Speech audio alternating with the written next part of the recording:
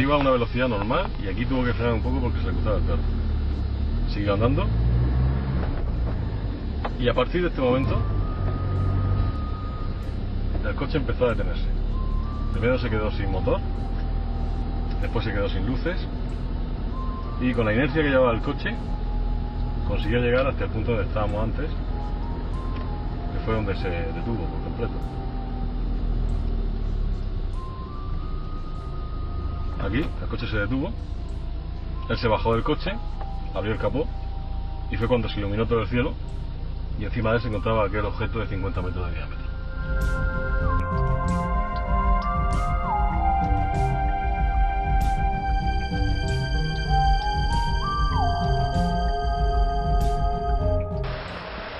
El objeto debía estar aquí, posado sobre la prensa. Se elevó se colocó encima del testigo. Desde allí, después de estar unos ciertos minutos, desapareció a gran velocidad en aquella dirección.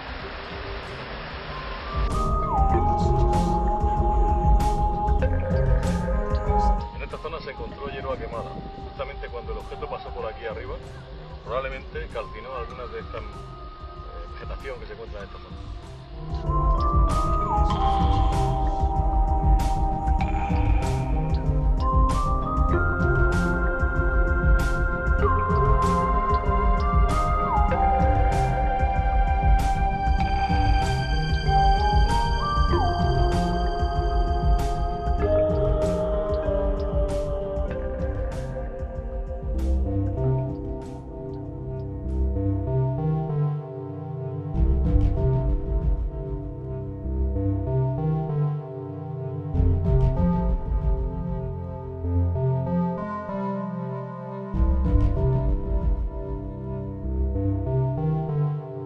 Estas sendas, hace muchos años, todo el mundo que pasaba lo hacía con miedo. Habían espíritus, habían extraños seres que se presentaban a los viajeros. Incluso se cuenta la historia de una persona que subía con un cordero encima de los hombros. Y poco a poco que el cordero pesaba más, hasta que por un momento, cuando ya no podía más con esa carga, miró hacia lo que llevaba encima. Y lo que llevaba era un ser grotesco, diabólico, que se fue volando. Y a partir de ese momento no tuvieron más remedio que instalar una gran cruz. Una cruz que ahora podemos ver. Y ahí está esa gran cruz. La pusieron quizá por aquellos extraños seres que aparecían, cuenta la leyenda, aquí hace tantos años. La pusieron porque acabó la guerra civil y de alguna manera fue una acción de gracias. Los historiadores no se ponen muy de acuerdo, a pesar de que la cosa sería fácil. Sin embargo, la leyenda permanece viva en el pueblo, permanece viva en la gente que cree en ella. Aún así, a pesar de todo el tiempo transcurrido, aún hoy, y teniendo en cuenta que la urbanización ha crecido, aún hoy sigue habiendo aquí una paz, una tranquilidad que hace sentir que algo especial hay en este lugar. Quizá el misterio nos está envolviendo.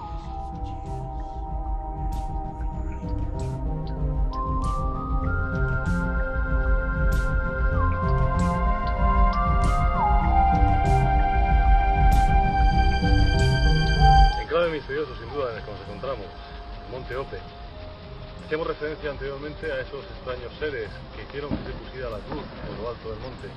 Pero desde aquí, como nos encontremos, podemos ver muchos lugares misteriosos. A mi espalda se encuentra el puerto de la Dosilla, justamente un lugar dominado por el fenómeno OVNI, donde han habido avistamientos y aterrizajes de objetos voladores no identificados. Además de toda la historia misteriosa que hay en esta zona, si nos movemos un poquito hacia mi izquierda, encontraríamos el lugar donde tuvo efecto ese extraña, esa extraña paralización de, uno- de una persona en el año 1939, justamente cuando se producían aquellos eh, sucesos que conmocionaban a toda Europa de avistamientos de ovnis, campanares y demás. Sin duda, un lugar para el misterio este que nos encontramos. Eh, iba con un compañero y estábamos haciendo por la tarde una, un acercamiento a una luz que veíamos a lo lejos, que no sabíamos lo que era, y nos salimos del pueblo y caminando por unos caminos ya las afueras del pueblo y ya cerca de, de la población de, de Ricote, de Ricote no, de, Campos del de Río. Campos del Río.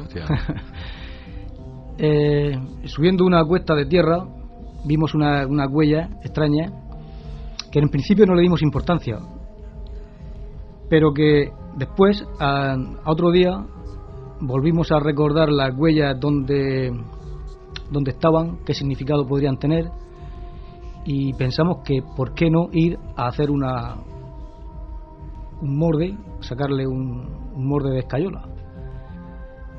¿Y cuál fue nuestra sorpresa? Pensando en que quizás corresponderían pues a algún animal que la verdad es que no, eran raras, pero no teníamos, no teníamos idea de lo que podían ser.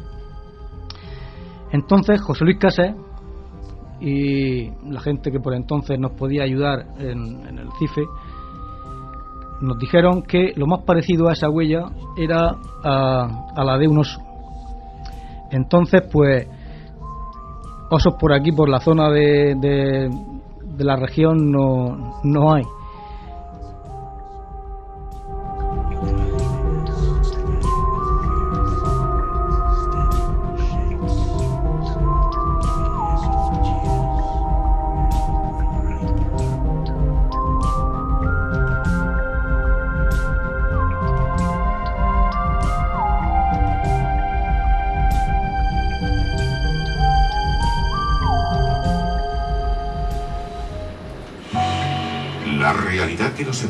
Puede ser un espejismo, un escenario fantástico e inexistente que nuestros sentidos solo llegan a imaginar. Lo que creemos conocer es tan solo la fugaz huella de un saber oculto tras un insondable velo que la razón se esfuerza por rasgar. Pero todos los arcanos, todos los oráculos, todos los secretos que la humanidad ha buscado sin tregua en los confines del universo podrían estar mucho más cerca, en lo más recóndito de su alma. Y es que el conocimiento es una luz, un resplandor que habita al final de una escalera, una escalera del misterio, una energía vital que iluminará el entendimiento de los que alcancen el último peldaño.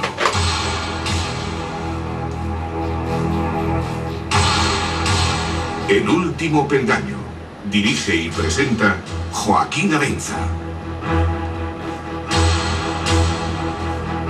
Amigos oyentes, bienvenidos. 23 eh, horas y 32 minutos de la noche del viernes, cuando comenzamos la edición de, este, de esta semana del último peldaño.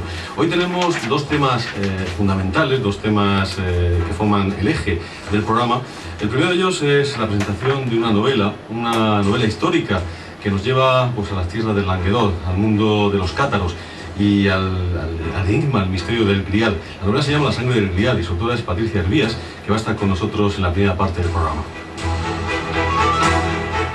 Del mundo de los cátaros nos vamos a las teorías más revolucionarias que intentan explicar el mundo que nos rodea y sobre todo los fenómenos paranormales, porque vamos a tener en la segunda parte la presencia de un buen amigo de Francisco Máñez, hace tiempo no lo teníamos en el programa, y que nos va a hablar de una vieja teoría que ahora está siendo renovada y que hoy por hoy sigue sin haber sido, eh, sin tener alternativa a una, digamos, a una explicación mucho mejor de los fenómenos paranormales de los que esta teoría puede dar, la teoría del colapso. Hablaremos con Paco Máñez en la segunda parte.